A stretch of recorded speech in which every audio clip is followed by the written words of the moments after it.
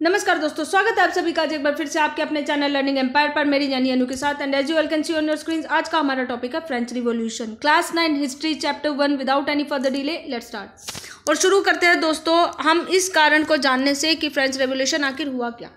दोस्तों, अचानक से एक अफवाह पूरे के पूरे फ्रांस में फैल जाती है कि राजा ने अपनी आर्मी को ऑर्डर दिया है कि कहीं पे भी यदि आपको आम लोग दिखाई दे तो उनको देखते ही गोली मारनी है। अब आम लोगों के मन में इस अफवाह की वजह से बहुत ज़्यादा डर फैल गया था। तो होता क्या है दोस्तों फ्रांस फ्रांस की राजधानी पेरिस में रात के समय सारे के सारे लोग इकट्ठा होते हैं और मिलकर फैसला लेते हैं कि जहाँ पे भी पूरे पेरिस में इनको कारतूस दिखाई देंगे, उन कारतूसों को ये छुपा लेंगे, चुरा लेंगे, जिससे मिलिट्री के पास ना तो ये कारतूस आएँगे और ना ही ये लोग हमें मार पाएँगे। इसका रिज़ल्ट क्या होता है दोस्तों कि जगह जगह पे ये लोग छापे मारने लगते हैं, ढूँढने लगते हैं कारतूसों को। पूरे फ्रांस में, पूरे पेरिस में स्पेशली ये लोग फैल जाते हैं, लेकिन कहीं पे भी इनको कोई कारतूस नहीं दिखाई देता है। इन दी एंड ये सभी मिलके कहाँ जाते हैं? फोर्ट फोर्ट बास्तिल में, यानी बास्तिल के किले में, जिसकी फ़ोटो आप यहाँ पर देख सकते हैं।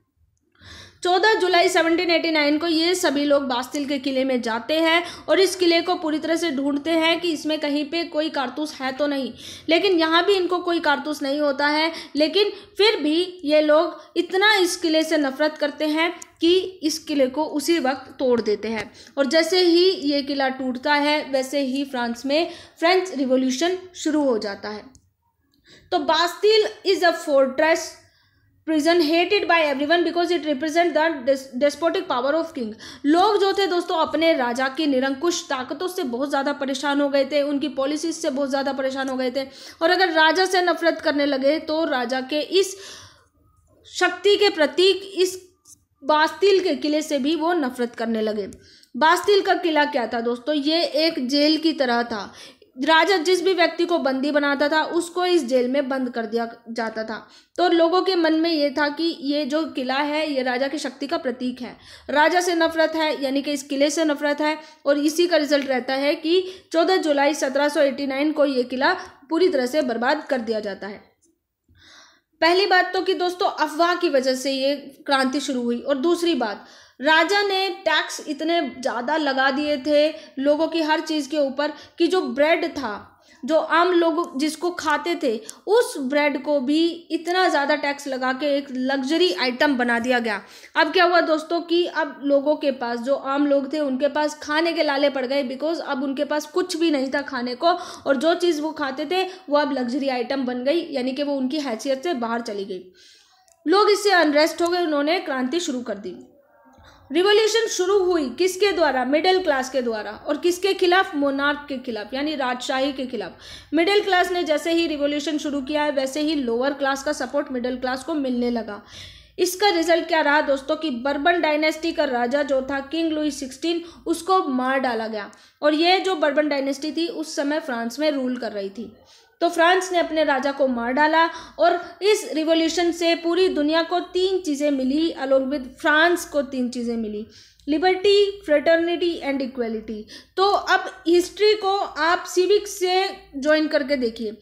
हुआ क्या दोस्तों कि सिविक्स में कई बार क्वेश्चन पूछा जाता है कि भारत के संविधान में लिबर्टी फ्रेटर्निटी एंड इक्वलिटी यानी आज़ादी, भाईचारा और समानता। ये तीनों वर्ड कहाँ से लिए गए हैं? तो अब आप बता सकते हैं कि फ्रेंच रिवॉल्यूशन से ये तीनों वर्ड लिए गए हैं, फ्रांस से ये तीनों वर्ड लिए गए हैं।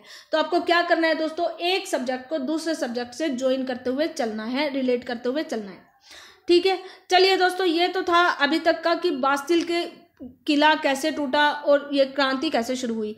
अब अगर हम बात करें फ्रांस की सोसाइटी की तो सोसाइटी तीन मेन भागों में बटी हुई थी, clergy, nobility and third estate, यानी फ़र्स्ट एस्टेट, सेकंड एस्टेट और थर्ड एस्टेट। फ़र्स्ट एस्टेट में क्लर्जी आते थे, यानी राजा और राजशाही से रिलेटेड लोग। सेकंड एस्टेट में नोबिलिटी आते थे, यानी कुलीन वर्ग, यानी कि आपके जो चर्च या पादरी लोग थे, वो सभी आते थे। थर्ड एस्टेट में आते थे, वे सभी लोग जो वर्किंग क्लास के थे, यानी कि जो या तो पीजेंट्स थे या फिर पढ़े लिखे वर्कर्स थे, ये सभी लोग थर्ड एस्टेट में आते थे। आगे अगर हम इनके बारे में पढ़ें तो जो क्रांति है, उसके दो मेन कॉजेज हैं। पहला है पॉलिटिकल जो कारण थे। किंग लुई सिक्सटीन ये व्यक्ति, ये है किंग लुई सिक्सटीन और जब ये राजा बनता है, जब ये गद्दी संभालता है तो इसको विरासत में मिलता है फ्रांस का खाली खजाना। फ्रांस जो था दोस्तों, लंबे समय से लड़ रहे वार की वजह से बर्बाद हो चुका था, इसकी इकोनॉमी बिल्कुल बर्बाद हो चुकी थी। तो वही यहाँ पे लिखा हुआ है long years of war had drained the financial resources of France लेकिन इसने क्या किया दोस्तों कि फिर भी ये चाहता था कि ब्रिटेन जो कॉमन एनिमी है, फ्रांस का भी कॉमन एनिमी था, अमेरिका का भी कॉमन एनिमी था ब्रिटेन। ये चाहता था कि अमेरिका को ब्रिटेन की ताकतों से आज़ादी दिलाई जाए। एक तो ये ऑलरेडी बर्बाद हो चुका था।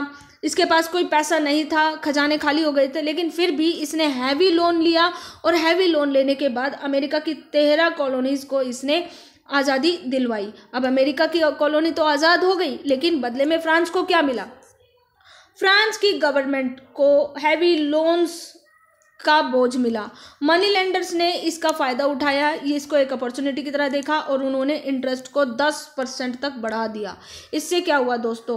कि अब फ्रांस का जो गवर्नमेंट का जो रिवेन्यू था, वो दो जगह में बटने लगा। पहला था कि भारी चंक तो उसका इंटरेस्ट पे करने में जा रहा था और दूसरा कि जो रेगुलर एक्सपेंसेस थे आर्मी के कोर्ट के और जगह के, उनको पूरा करने में ये अमाउंट जा रही थी। यानी कि फ्रांस का रिवेन्यू कहाँ कहाँ जा रहा था? एक तो लोन चुकाने में जा रहा था और दूसरा जो रेगुलर एक्सपेंसेस थे, उनको चुकाने में जा रहा था। सिर्फ़ इन्हीं दो जगहों पे जा रहा था। अब क्या होता है दोस्तों कि ये जो व्यक्ति है लुई सिक्सटीन ये ये खुद भी भोग विलास वाला जीवन जी रहा था। तो ये अपनी भोग और विलासिता में कोई कटौती नहीं कर रहा था। ऐश वाला जीवन जी रहा था। इसका अपना जीवन को अच्छा बनाने के लिए इसने क्या किया? इसने और भी ज़्यादा टैक्स इम्पोज करने शुरू कर दिए। जब इसने टैक्स इम्पोज कर दिए, भारी मात्रा में टैक्स इम्पोज कर दिए तो फ्रांस की सोसाइटी के डिवीज़न के अकॉर्डिंग जो टैक्स पे करना होता था, वो सिर्फ़ और सिर्फ़ थर्ड एस्टेट के लोगों को पे करना होता था। और जो फ़र्स्ट और सेकेंड एस्टेट के लोग थे, इनको कोई टैक्स पे नहीं करना होता था। तो यानी कि राजशाही और जो कुलीन वर्ग था, ये लोग तो जैसे ही राजा ने टैक्स बढ़ाया, इनके ऊपर कोई असर नहीं पड़ा। लेकिन थर्ड एस्टेट बुरी तरह से बर्बाद हो गया, जैसे ही राजा ने टैक्स बढ़ाया। तो वही दोस्तों, आगे यहाँ पे मेंशन किया हुआ है मैंने कि जो क्लर्जी एंड नोबिलिटी था, उनको एग्ज़ाम किया गया था टैक्स पर पे करने थे। करने से। और फ्यूडल ड्यूज जो थे, वो किसके द्वारा भरे जाते थे? पीजेंट्स के द्वारा।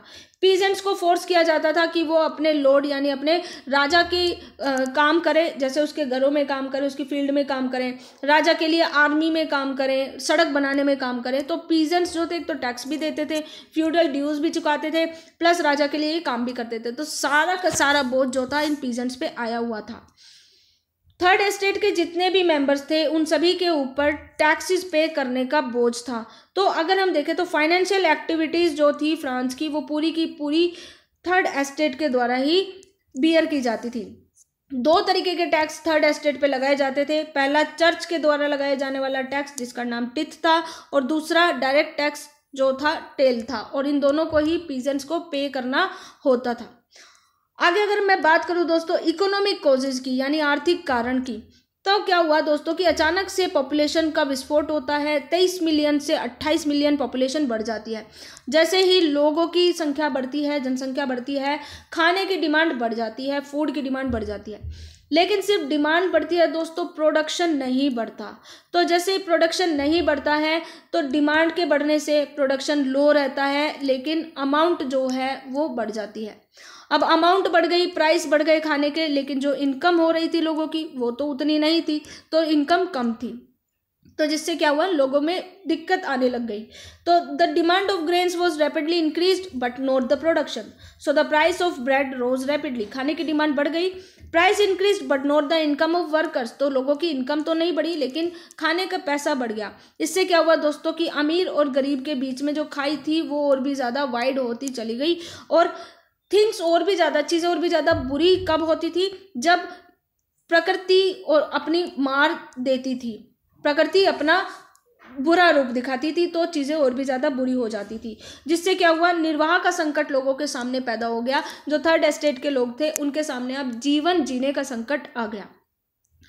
इससे क्या होता है दोस्तों कि जितनी परेशानियाँ होती हैं, उन परेशानियों से निकल के आती है the growing middle class middle class जो है, इसमें एजुकेटेड लोग होते हैं। जैसे मैंने आपको बताया था, वकील कोर्ट के जो ऑफिशियल्स थे टीचर्स भी थे डॉक्टर्स पुलिस ये सब के सब मिडिल क्लास का हिस्सा थे और ये सारे के सारे पढ़े लिखे थे। तो इनके पढ़े ये पढ़े लिखे थे, इनके पास नए आइडियाज़ थे। तो मिडिल क्लास के इन्हीं लोगों ने रिस्पॉन्सिबिलिटी ले ली दोस्तों कि फ्रांस का जो पॉलिटिकल सिस्टम है, जो सोशल सिस्टम है, अब उसको चेंज करके रहना है। इन लोगों को ये यकीन था, ये लोग मानते थे, जो मिडिल क्लास के लोग थे, ये लोग मानते थे कि जन्म के आधार पर मिलने वाला प्रिविलेज बेकार है, वो नहीं मिलना चाहिए। यानी कि नोबिलिटी और क्लर्जी इनको जन्म के आधार पे जो प्रिविलेज मिलते हैं, वो ख़त्म होने चाहिए। बल्कि प्रिविलेज मेरिट के आधार पे मिलने चाहिए। यानी कि जो व्यक्ति अपने काम को साबित करके जिस लायक होता है, उसके अकॉर्डिंग उसको प्रिविलेज मिलने चाहिए। मिडिल क्लास के ऊपर दोस्तों, कई सारे फिलोसोफर्स का प्रभाव था। जैसे कि अगर मैं आपको बताऊँ तो कुछ फिलोसोफर्स जैसे जॉन लोक।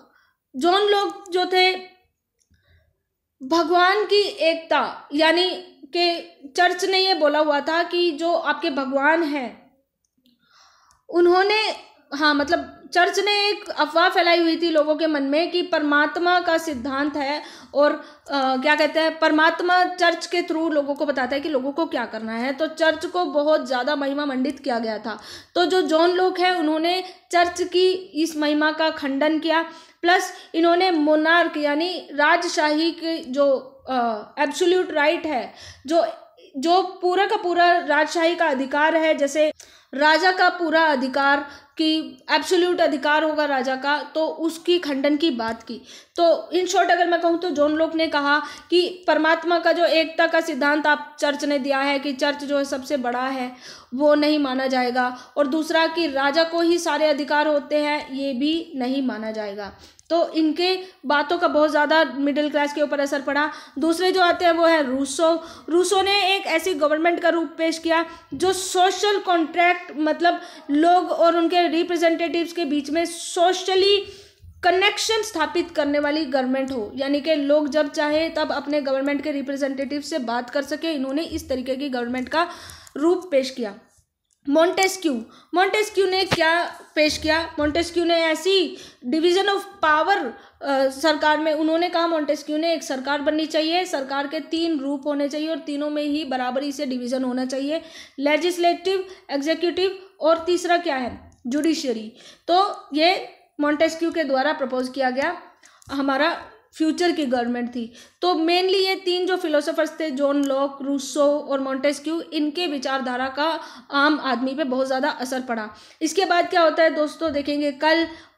Meanwhile stay home stay safe God bless you all जय हिंद।